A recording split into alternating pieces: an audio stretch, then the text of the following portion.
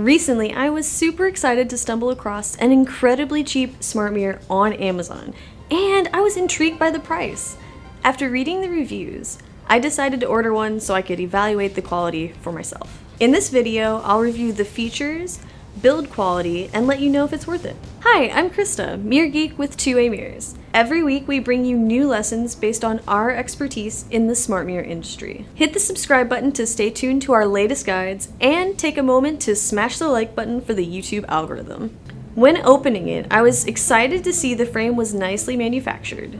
The corners look quite good for the price point, and the backside is a thin MDF, which gets the job done, but it's quite fragile. The display itself is pretty cheap with only one HDMI and USB input, which is to be expected at this price. It's quite large at 22 inch diagonal viewable area.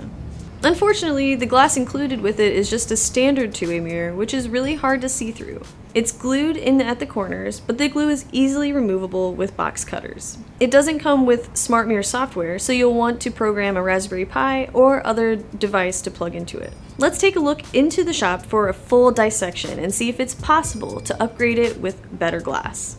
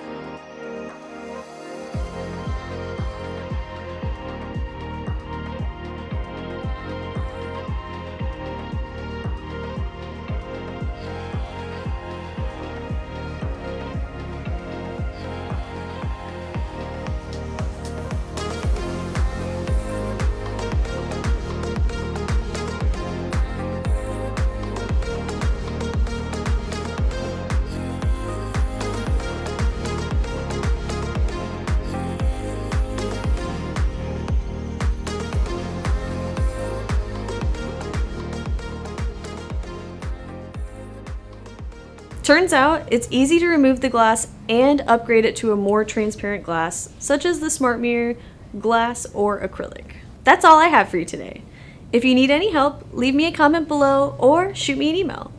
I love you guys so much. Thanks for watching. Bye guys!